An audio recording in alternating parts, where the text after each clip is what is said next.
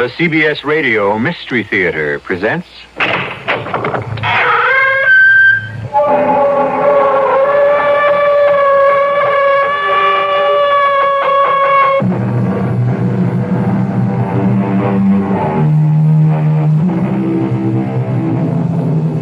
Come in.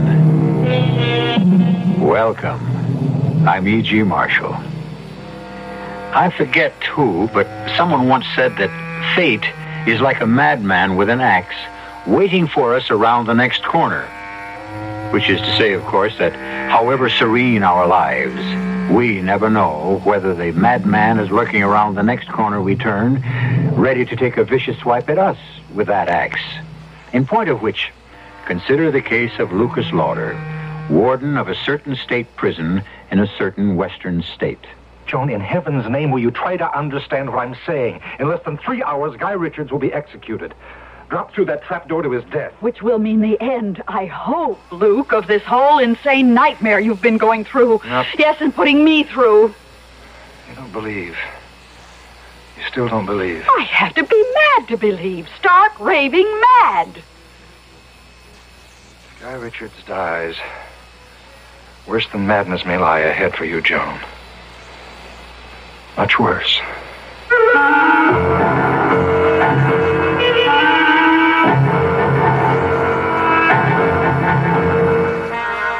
Our mystery drama, The Strange Case of Lucas Lauder, was written especially for the Mystery Theater by George Lowther and stars Robert Lansing.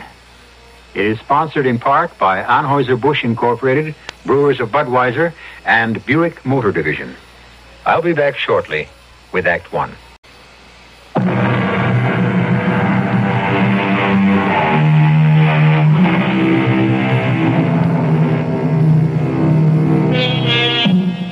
As we know, the death penalty is outlawed in many states, but in some it is still enforced.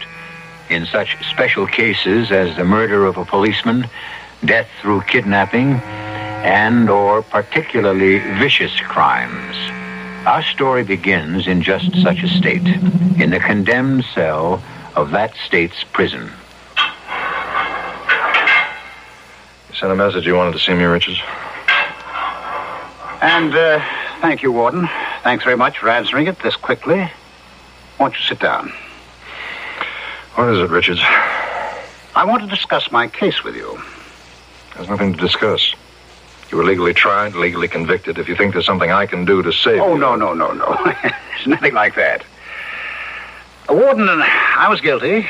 I freely admitted murdering those women, all four of them, and mutilating them with a butcher knife. No, no, no. The name the newspapers gave me was well deserved.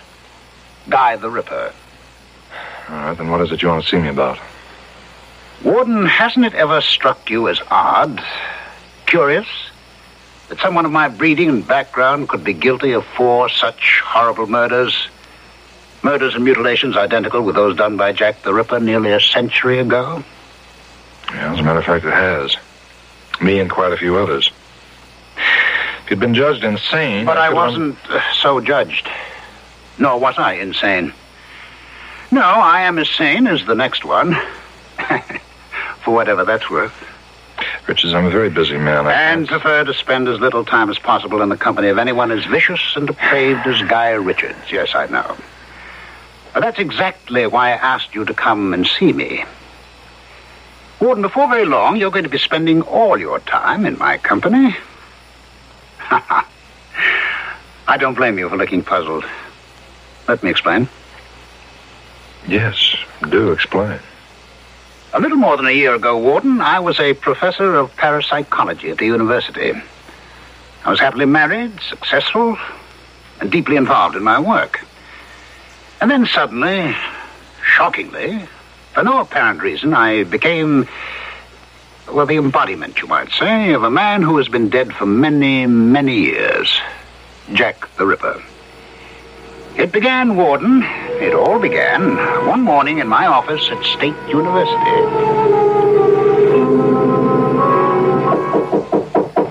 Come in. Well, Eric, Eric Nordling. It's good to see you. Good to be back, Guy. Good to have you back. I can't tell you how much I've missed you this past month. It's like missing my right arm. Oh, nonsense. I'll be frank with you. When you went into the hospital for those tests a month ago, I didn't expect I'd miss you as much at all. Why should you? I'm just an assistant professor. Ah, but what an assistant. You remember when you left, you and the class were analyzing those strange, gruesome murders that had taken place? The three women? You remember? I remember. Well, I took over for you, and believe me, the class soon let me know that I just wasn't in it with you. They said no one, not even me, could touch you when it came to explaining the murderer's drives and motivations. in fact, they said you understood and explained them so well, they wouldn't be surprised if you were the murderer. well, what is it, Eric? Eric? Guy, uh, I was. Uh, I am the murderer. Ah. Well, I can see you're not joking, Eric. I'm not. I also know that you haven't been well. In fact, I'm very sick. Guy, I'm dying. But none of that changes the simple truth that I murdered those women and mutilated them. Guy, I'm Jack the Ripper. No, I'm I'm not crazy. As a professor of parapsychology, you do believe that people can be possessed by the spirits of the dead. Uh, I keep an open mind, or try to. Well, I can tell you that possession is a fact. For some time now, I have been possessed by the spirit of Jack the Ripper. Eric, if I didn't know you better, I'd say that you're really possessed of a dose of LSD. But since I. Guy, do- believe me. What I'm telling you is the truth. Believe me, because you're about to become Jack the Ripper. Eric, you're ill. I can tell from looking at you. You're seriously. I am. I'm dying. I told you that. They've given me less than two months to live. Oh, Eric. It's terminal. In less than two months, I'll be dead. And the day I die, the instant I die, the Ripper's spirit will leave my body and enter yours. You don't believe me, do you? Of course not. Well, then I'll have to prove it. You've taken your penknife out of your pocket and you're opening the blade. Well, yes, to clean out my pipe. What's so unusual about that? Does your pipe need cleaning? Well, no, but, uh, You acted on impulse. Sudden, inexplicable desire. Desire to hold a knife in your hand. oh, now, of all the It senseless... isn't senseless. And if you think so, try to put the knife back in your pocket. Well, go ahead. Close the blade. Put the knife back in your pocket. Uh, why, I, I haven't done what I intended to do, clean out my pipe. Is that what you intended to do? Oh, in heaven's name, Guy, be honest with yourself, is it? Mm, no. Now, what... What do you intend to do with that knife? What do you want to do with it? I... I want... I want to kill with it. To strike and slash. Ah. What is this? What? What? It's Jack the Ripper. Using your body. You needed proof, and he... I just gave it to you. I took possession of you for a few moments. But when Eric Nordling dies, I'll become Guy Richards. Till he dies, And after that, Oh, no, this, uh, it's madness. you deny you felt an overwhelming urge to strike and slash? No, but there's got to be some explanation. There is. You can pick up your knife and put it away. Or clean your pipe. If you really want to. Well, Warden, those were Eric Nordling's words, almost his identical words, just before he told me what I'm about to tell you. Mm-hmm. That I'm about to become Jack the Ripper. The day, the instant I die. Yes. If there's anything further you want. Now, wait, wait, don't go. I, I, Now, look, Richards, your time is short, and I yours do- is. And I want to do everything I can to make the next few days easy for you. But when it comes to listening to the kind of the kind of story you just told me, I haven't the time. You don't believe it either, hmm? Even I didn't. With all my knowledge of the occult, the psychic, I couldn't bring myself to believe in anything so impossible. Seemingly impossible. And nutty is the word. You think I've gone a little, uh, what do they call it here? Stir crazy? No, you haven't been in long enough for that. I'm not calling it anything. I'm not thinking anything. Look, you wanted to get something off your chest. You got it off. I'll be going. No, no, please. Richards, I don't Listen for just one minute more. At six in the morning, two days from now, I'll be hanged for murders every bit as revolting as those of Jack the Ripper. Because I am Jack the Ripper. This body, you see, is the body of Guy Richards, once respected university professor. But I, the spirit that inhabits this body, well, I am, I assure you, Jack the Ripper. Now, let me assure you, as Eric Nordling assured Guy Richards, at the very instant the rope snaps my neck, on that instant, Warden, you will become Jack the Ripper. Now, if there's anything further I can do. And I'll prove it to you as I made Nordling prove it to Richards. Now, before you go to bed tonight, you will feel that same strong, overpowering urge, need to strike and slash with a knife. Before you go to bed tonight.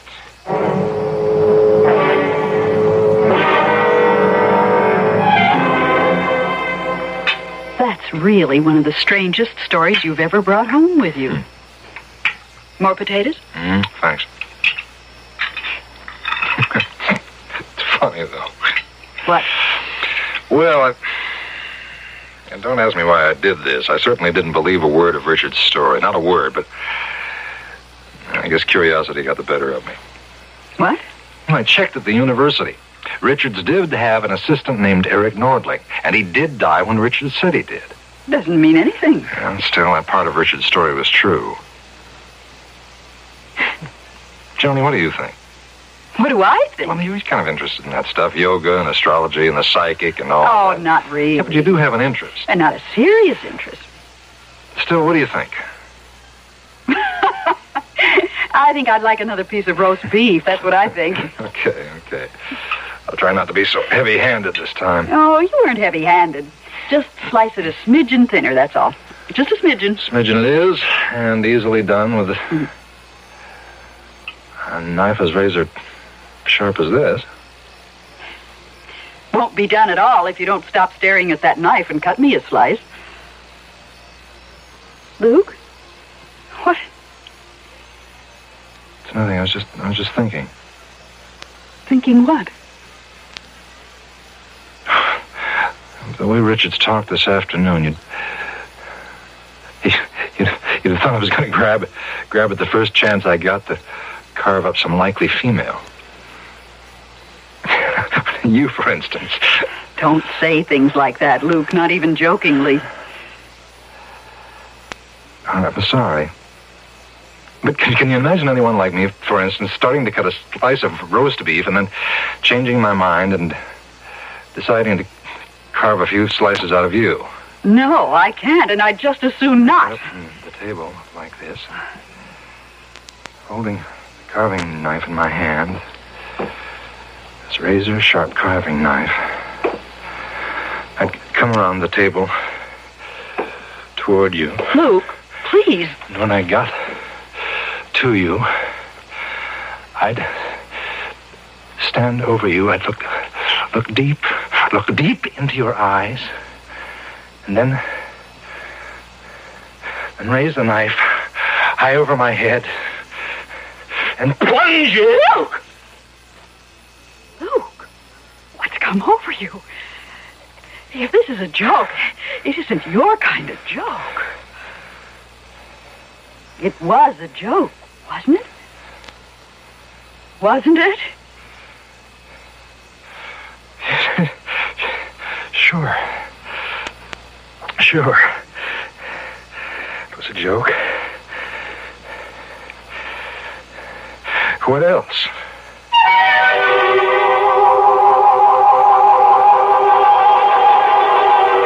What else indeed? What else could it be? It could be what Warden Lucas Lauder knows it was. No joke at all. That for a few moments in time, he was gripped by, driven by an all but overwhelming urge to strike with that knife, slash with that knife, kill with that knife. I'll return in a moment for Act Two.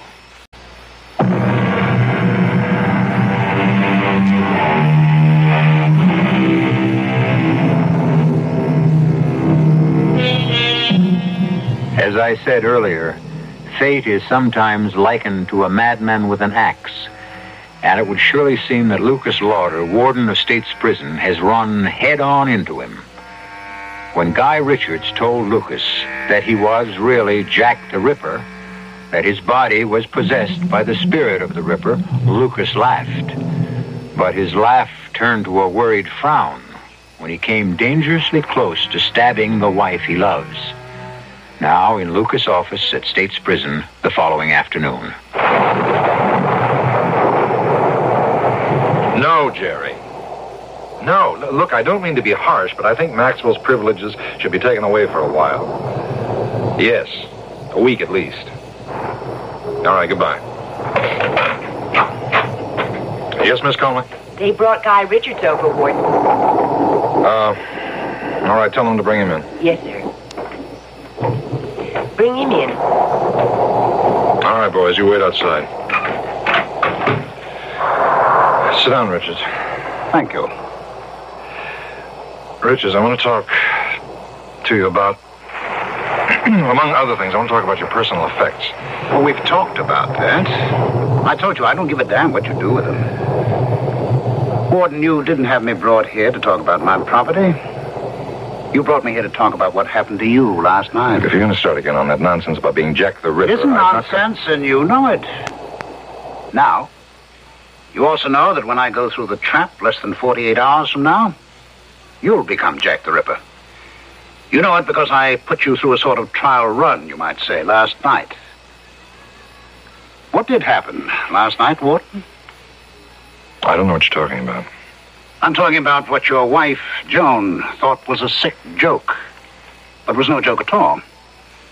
I'm talking about how you stood over her with a carving knife, the knife you'd been using for the roast beef. Right? Oh, look, you're not going to be sick, are you?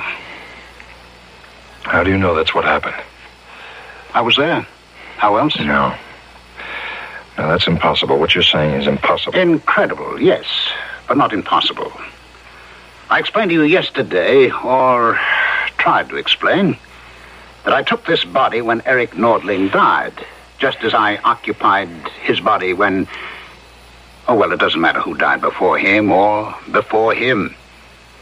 All that matters to you, or should matter to you, is that you're next on that list to, shall we say, play host to Jack the Ripper.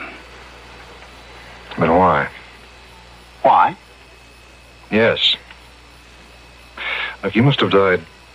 what am I saying? Jack the Ripper must have died many, many years ago. In 1907, to be exact. All right, then you've been dead. I mean, damn it, the Ripper has been dead nearly 70 years. But his spirit, my spirit, has lived on in others right, that's what I'm getting at. Why? because I cannot rest. Because of the awful crimes you committed? No, not because of the crimes, but the reason behind them. The evil in me that drove me to. to what I did. The hate. No, I don't understand. There is nothing to understand. It's quite simple. A spirit, a soul, is given an earthly body and forced to suffer through what you call life. Forced to go through this agony again and again and again until it is cleansed completely of evil, of hate. The evil in me was so great it will take, well, only the Lord knows how many lifetimes to wipe it away. Unless, Unless. unless it meets a love as pure as the hate is evil, a soul as tender as the hate is brutal, a spirit as compassionate as the hate is ruthless, and that, that will never be. Never? No such love exists. No such soul, no such spirit. Not on this earth, that's for sure. You really believe what you're saying, don't you? You really believe that you are actually Jack the Ripper. Oh, for the you- love...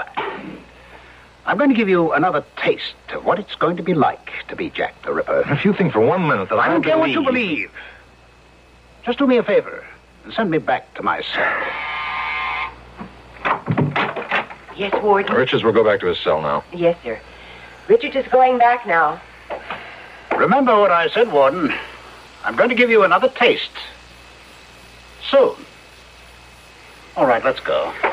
Uh, Warden, Yes, Miss Conway. it's near time for me to go home, and the buses get awful crowded in, in weather like this, so I was wondering, could I leave now? Sure, yes, of course. Go ahead.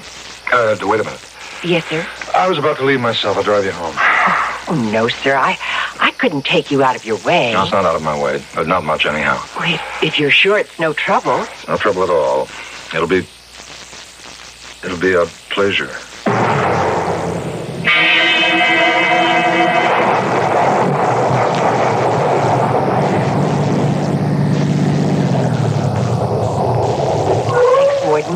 Awfully nice of you. I'll see to your door. Oh, no need for that. No, I insist. There've been a lot of muggings in this neighborhood. Some. So I want to be sure that you get to your apartment safe and sound.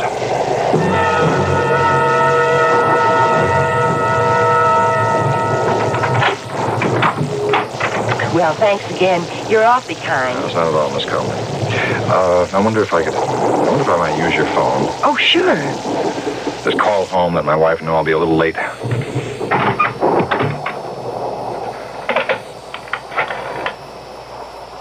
Uh, second thought, there's no sense in calling. I won't be that late. Oh, only five or ten minutes. Boy, look at the rain and wind against the window. Chills me to the bone just looking at it. Why, I couldn't give you a drink, could I, sir?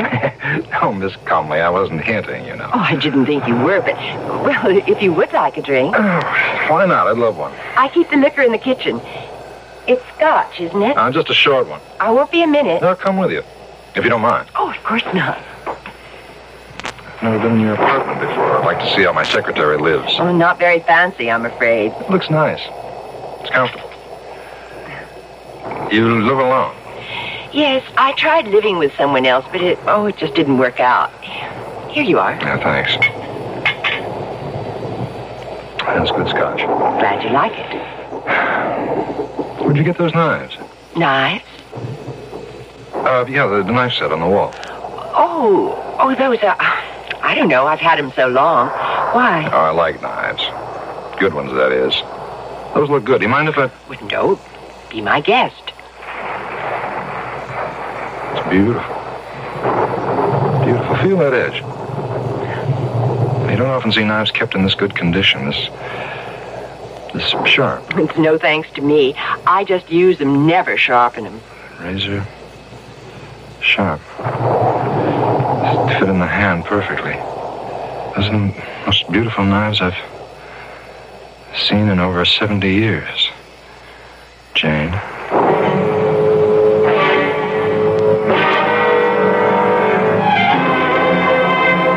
Get out of my cell, Warden. I don't have to put up What with are you this. doing to me? You answer me, Richards. What are you doing? I've told Now, you. you told me a lot of nonsense about you being Jack the taking possession of me, my, my body when you die. I don't buy that. You're up to something. You've done something to me. And I'm not leaving this cell till you tell me what it is. You're scared, Warden? Of what you came dangerously close to doing to your secretary yesterday? And will do not long after you hang me? the urge, the nearly overpowering urge. I stayed your hand, not you, to plunge the knife into her, to slash. Stop it. See, stop it. You listen to me. I'm no fool. Yesterday I nearly murdered that girl. And somehow you know all about it. But I stayed my hand, not you, because I'm not a killer. And how do I know what went on in that kitchen? I don't know how you, you've devoted your life to parapsychology, and you know all there is to know about things like ESP, thought transference, hypnoti- hypnotism. That's it. Hypnotism, like Nordling, you're a, you're a hypnotist. Somehow or other, I don't know how, you managed to hypnotize me when I was talking to you. you put ideas in my head. Post post hypnotic suggestion, I think it's called. You cannot give a post hypnotic command that's contrary to the subject's normal fiber. Warden, it would be impossible for me or anyone to command you to kill. It isn't in you to kill. But that will all change when I am in you at approximately a second or two after six o'clock tomorrow morning. Oh, which reminds me, I have a gift for you. Here. A knife? A knife. Where did you get this? It was made for me in the prison machine shop from a soup ladle. A soup ladle carefully ground down at the edges, skillfully shaped into a knife, expertly sharpened. How did you manage to have this made? How did you manage to have calm, this made? Calm, Warden. You know your prison as well as I, or you should, and obviously don't. Anything can be done in a prison if you know the ropes. Here, the knife. Take it. Ed. Ed?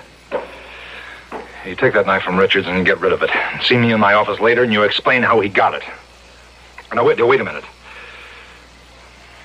Here, gi- give it to me. I'll, I'll get rid of it. Not until you've used it. Not till I, the Ripper, have used it. Again, and again, and again. Ed, I don't want to see this man again until his execution tomorrow morning at 6. If he has any last minute requests, you handle them. If he has any questions, you answer them. If he wants to see me for any reasons, no. Tomorrow morning, Richards, I'll see you then, and not until then. 6 o'clock. On the scaffold, Richards.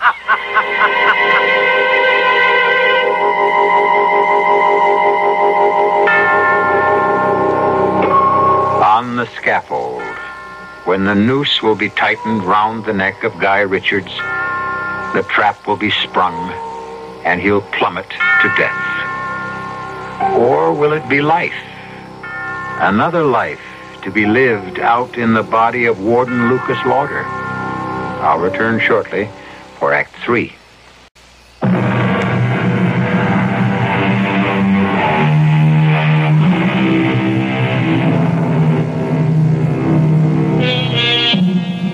There's much talk these days about possession, the control of a human being by an evil spirit. Probably such talk has gone on since man can remember. Intense discussion, even violent debate as to whether possession is a form of schizophrenia or a malignant spirit which has invaded an earthly body. For Lucas Lauder, warden of State's Prison, it isn't a subject for idle debate, but a frightening reality. In the bedroom of his home, a short distance from the prison itself.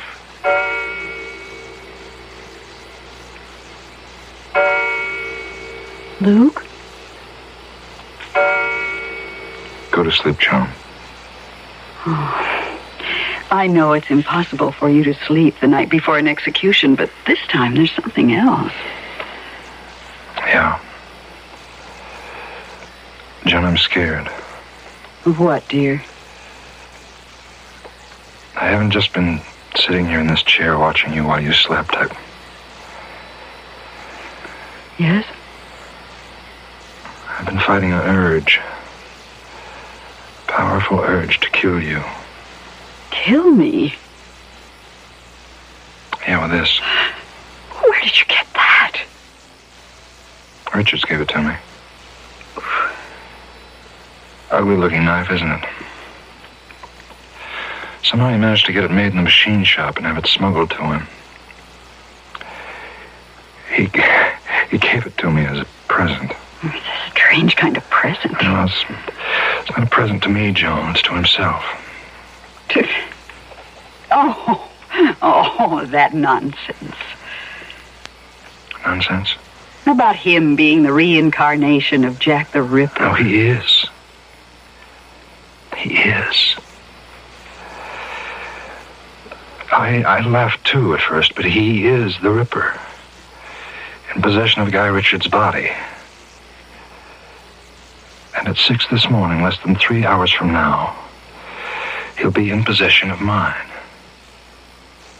Luke, Luke, darling, you, you can't be serious. You don't really believe that. After what's happened, I'd be a fool if I didn't. What has happened? He. I had to bring myself to talk about it. He he told me he was going to take possession of me temporarily for a short time to prepare me for what's to come after he hangs. Well, you didn't take that seriously. No, no, no, no, not then. But within an hour, I I nearly stabbed Miss Comley to death. Your I secretary? drove her home in that storm day before yesterday. I invited myself in. You? Pretended I wanted to use the phone to call you, but I had no intention of using that phone. I just wanted to get into her apartment to. To kill her? I didn't know it then. I, I didn't know why I tricked my way in, but. Well, then I, I sort of led her into offering me a drink, and I went with her into the kitchen where she keeps the liquor. While she was making the drink, I noticed a set of knives, kitchen knives, you know, on, on the wall. I pretended to admire them, and I, I took one to examine it only. I, only I wasn't examining it. I was thinking.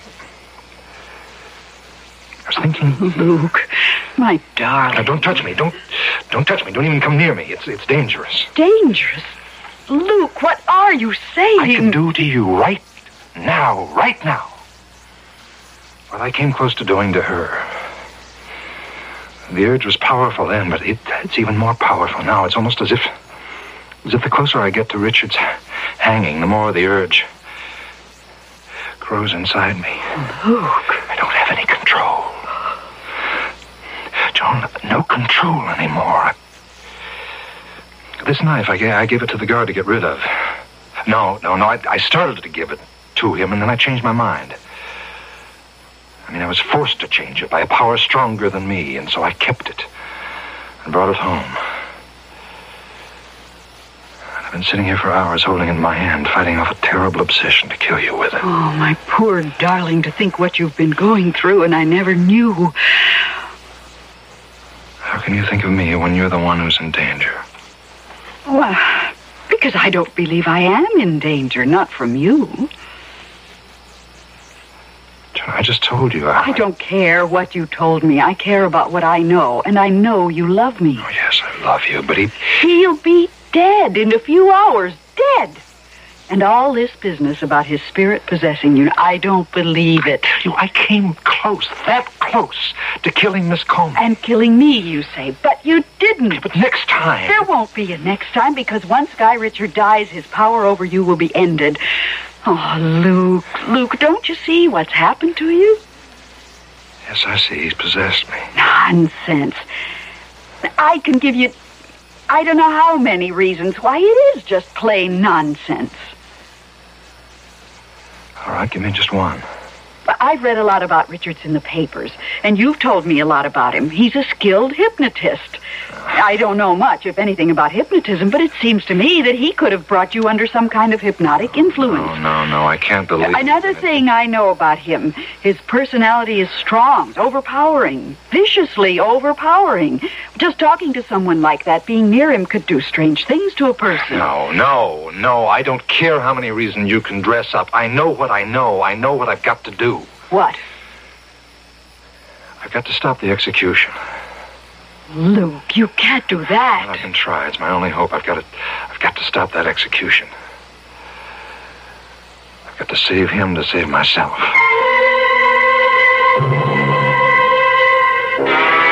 Know it's only four in the morning, but this is a matter of life or death. You get the district attorney out of bed. I'll wait.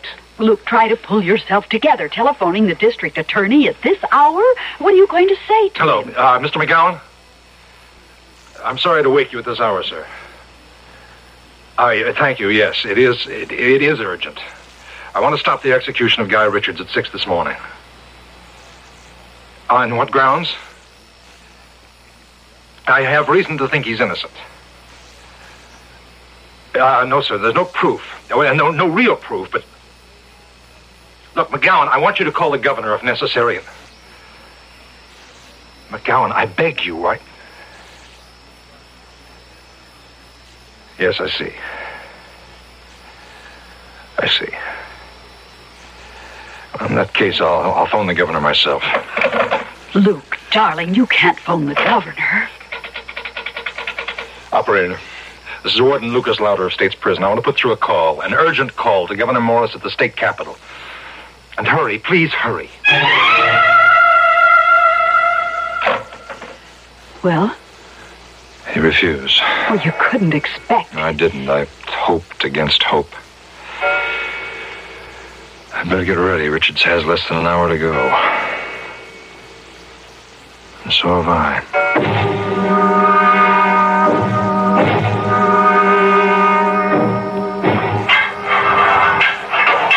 time, Richards. You're telling me. If you're ready, Question is, are you? come on, let's go. You look tired, Warden. No sleep, eh? Well, don't worry about it. You'll sleep just fine tonight. The Ripper always sleeps well. Afterward, After what? having killed.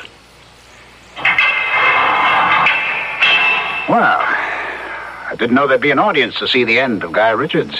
The press. Straight ahead to the scaffold, Richards. You're sweating, Warden.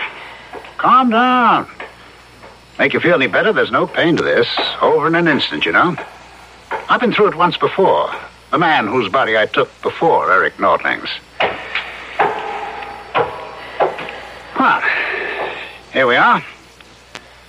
A moment in destiny. For us both. All right, Ed. Oh, do we really need the hood? Well, yes, I guess we do. Spare the feelings of our audience. Go ahead. Just uh, one thing to say, Warden, before you pull the trap. Yes? This isn't goodbye. I'll be with you again soon.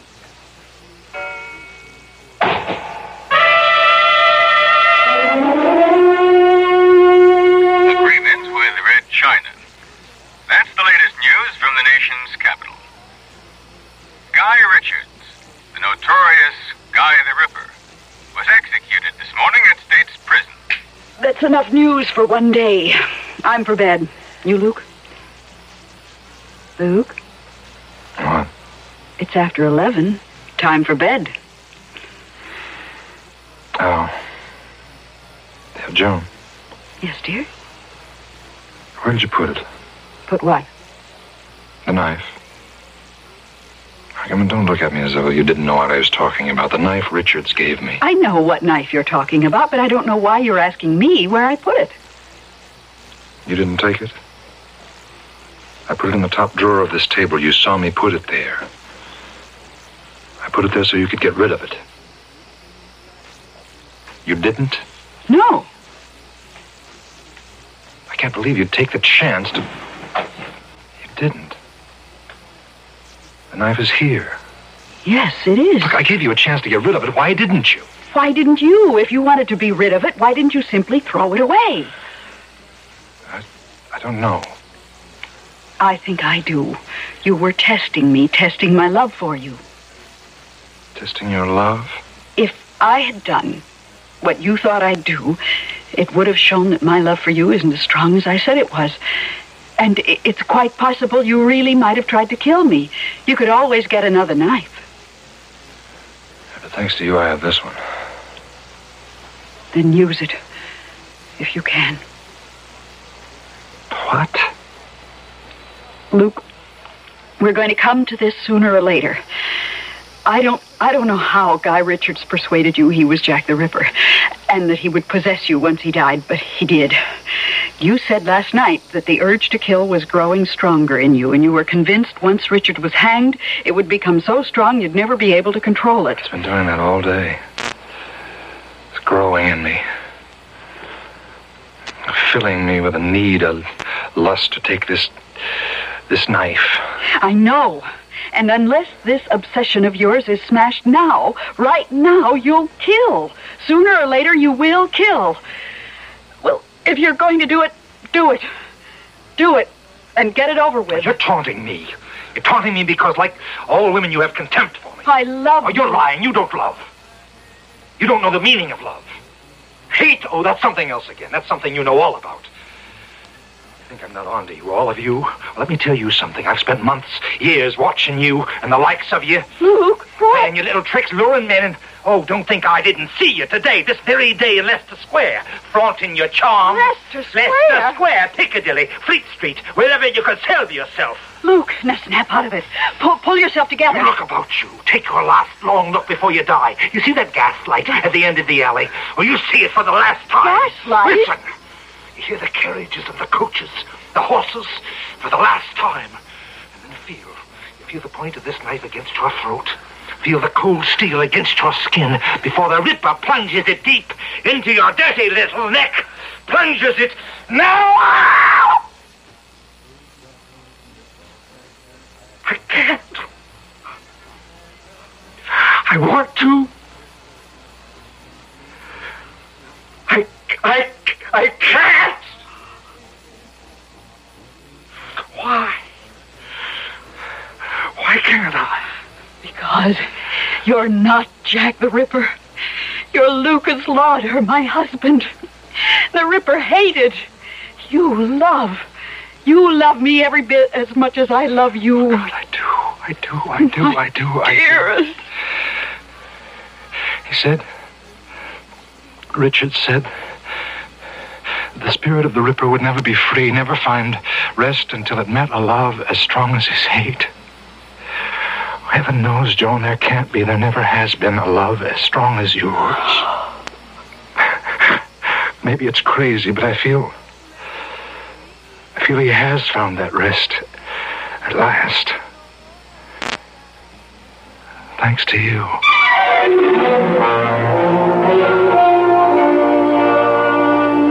Well, if you're puzzled by this strange happening to Lucas Lauder, you've got nothing on me.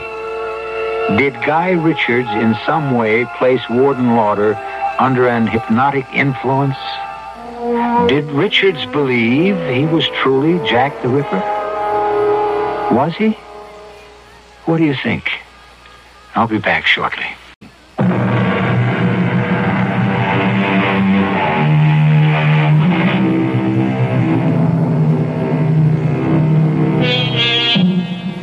When I told this story to a friend of mine who's a psychic, a sensitive, she said that of course Guy Richards was the reincarnate Jack the Ripper. Another friend, a psychiatrist, said, nonsense, a clear case of a split personality. Which is right, I don't know. Maybe the truth lies somewhere in between. Wherever it lies, it makes a good story. I hope you enjoyed it. Our cast included Robert Lansing, Lenka Peterson, Ralph Bell, Ira Lewis, and Patricia Pearden. The entire production was under the direction of Himan Brown. And now, a preview of our next tale. Your room is high above the ground on the far side of the estate. Room? This isn't a room. It's a cage. So it is, Mr. Schiller. What is this? Barred window, steel door? It's like a prison cell. It is a prison cell, Mr. Schiller. But why? Why am I here? To serve your sentence. I've judged your case and found you guilty. No. Well, it's all very well and good to say no, but here you are, aren't you? Here they all are, and here they'll stay until their brains rot and their bodies decay. They? You mean there are others? Yes, Mr. Schiller. Others who have broken God's law and must pay for it. Radio Mystery Theater was sponsored in part by Contac, the 12 hour cold capsule. This is E.G. Marshall inviting you to return to our Mystery Theater for another adventure in the macabre. Until next time, pleasant dreams.